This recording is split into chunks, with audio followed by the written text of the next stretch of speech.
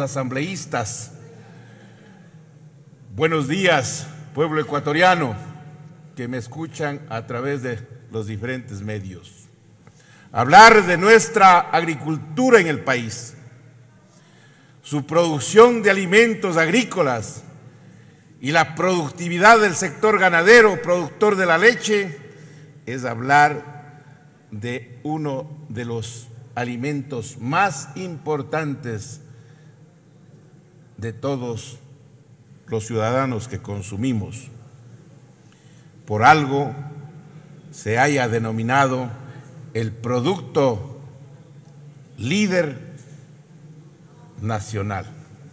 Hay que considerar la realidad misma que vive el agricultor. Los sectores más pobres y abandonados, los pequeños productores. Viven en una situación completamente abandonada, con transporte caro, con insumos caros para los sectores en donde tienen que, que producir un buen pasto, con tratamientos caros para el ganado productor de la leche la explotación y abuso de los transportistas de la leche y abuso también de ciertos centros de acopio donde hay poca o ninguna protección del productor. Por lo que, en mi calidad de asambleísta de la provincia del Cañar, región de la sierra, uno de los sectores más productivos de este alimento, frente al proyecto de ley orgánica para fomentar la producción, la comercialización, la industrialización, el consumo y fijación del precio de la leche y sus derivados, hago mis siguientes observaciones. Hay que ir a lo concreto y espero que la comisión lo tome en consideración. Primera observación, me permito proponer que se simplifique la ley y se busque un organismo ágil y unificado de control de calidad del producto. Me parece que la ley no debe empeñarse en amontonar una cadena interminable de control y supervisión para los productos de lácteos en el país, porque existe el riesgo de desincentivar la producción. En este elemento tan importante para la dieta alimenticia de los ciudadanos no puede haber trabas. Me parece que la ley debe estimular la producción de calidad, pero no puede crear mecanismos burocráticos que dificulten la capacidad productiva de los ganaderos ecuatorianos. La ley debe crear facilidades para los productores, impulsar procedimientos transparentes y saludables, así como permitirle disponer de una actividad rentable cuyo producto llegue a la mayor cantidad de familias compatriotas.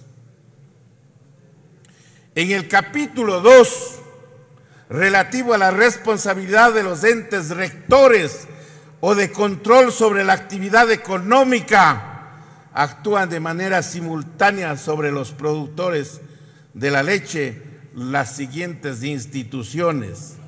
El Ministerio de Agricultura y Ganadería, MAG, como entidad rectora del sector agrario para regular, vigilar, normar, facilitar, controlar y sancionar la gestión de la producción láctea, lo que tiene lógica, artículo 5, pero eso no es todo. La Agencia de Regulación y Control Fito y zoosanitario, agrocalidad, artículo 6. El Ministerio de Producción, Comercio Exterior, Inversiones y Pesca, artículo 7. El Ministerio de Salud Pública, artículo 8. La Agencia Nacional de Regulación, Control y Vigilancia Sanitaria, ARSCA. Esta entidad es la encargada de la regulación, control técnico, vigilancia sanitaria de la producción, importación, distribución, almacenamiento, transporte, comercialización, dispensación y expendio de leche procesada y sus productos derivados. Superintendencia de Control de Poder de Mercado que debería prevenir, evitar, corregir, eliminar y sancionar el abuso de los operadores con poder de mercado, garantizando el comercio justo y el bienestar común, de conformidad a las atribuciones que establece la ley orgánica de regulación y control del poder de mercado, artículo 10 mi primera propuesta y sugerencia legal es como observación para los señores miembros de la Comisión Especializada Permanente de Soberanía Alimentaria y Desarrollo del Sector Agropecuario y Pesquero, que se disponga de un medio operativo ágil que asesore y solucione en forma expedita los problemas de los productores. Debe brindarse facilidades a los productores porque no solo generan alimento, sino de su actividad y entorno sobreviven muchas familias. Y uno de los permanentes problemas que disponemos, sobre todo en las provincias australes, es la de la migración masiva que habría que intentar racionalizar.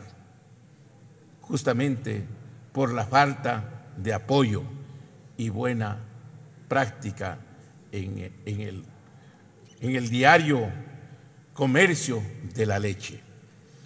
Segunda observación, me permito solicitar, solicitar se afine la redacción del proyecto de ley, pues que, por ejemplo, en el artículo 22 se deja en manos del transportista la capacidad de realizar un análisis de la leche cruda de todos los proveedores antes de cargarla. Me parece que debe brindar facilidades para los productores y además debería impulsarse mecanismos para que proteja al pequeño productor. Señores legisladores, se han puesto a pensar el drama humano y familiar que significa la devolución de 10, 20, 30 y hasta cantarillas de 50, 60 litros de leche. Y no es una sola vez, sino varias con un minuto ¿Por qué no impulsar proceso de industrialización de la leche desde la pasteurización purificadora hasta mecanismos que contribuyen a la elaboración de quesos, mantequilla, leche, polvo y sueros y otros mecanismos. Estamos en el Parlamento para defender a los generadores de alimentos y a los ciudadanos que contribuyen a la sobrevivencia biológica del pueblo ecuatoriano. Y por ello me preocupa que no podamos emitir una ley de protección para los productores.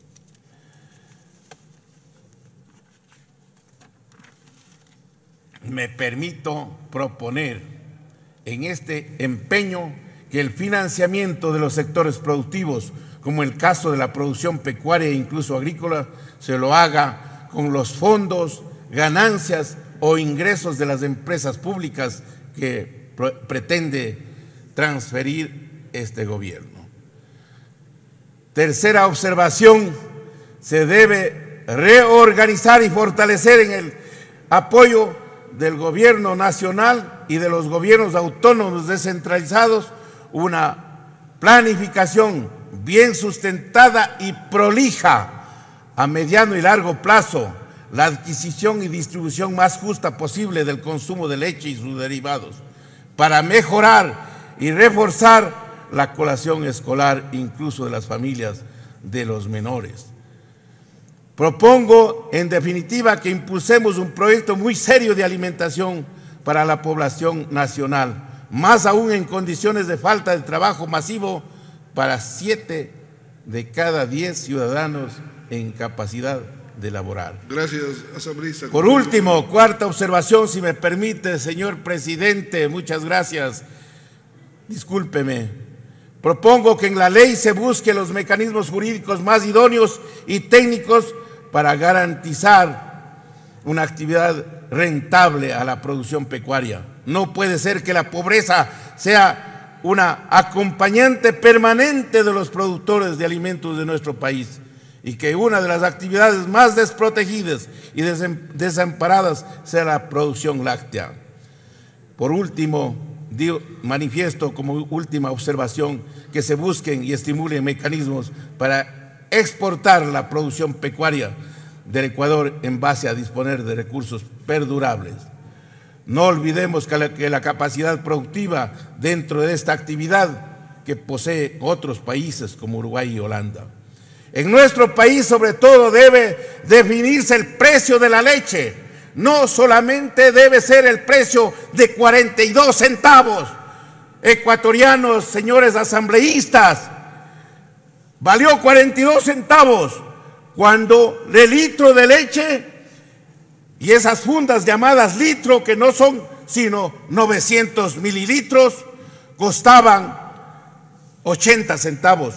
Hoy día cuestan 90 centavos y por lo tanto el precio de la leche yo quiero que se considere, señor presidente de la comisión, en un precio de 48.75 centavos, dado que esto es justo.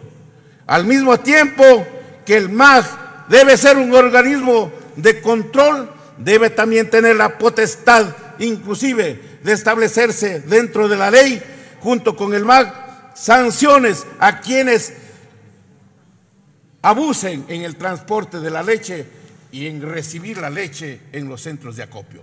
Muchas gracias, señor presidente. Gruber Zambrano tiene la palabra. Escuchamos y vimos la intervención del asambleísta